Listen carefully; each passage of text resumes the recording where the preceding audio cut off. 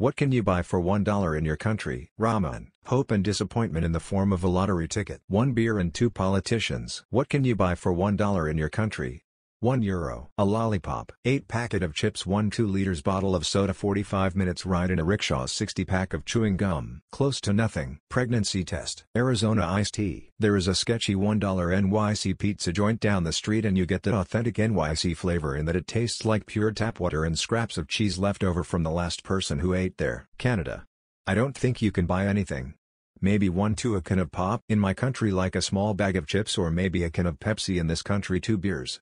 Two whole beers man. Fucking A. Candy. 12 minutes on a parking meter. A can of beans?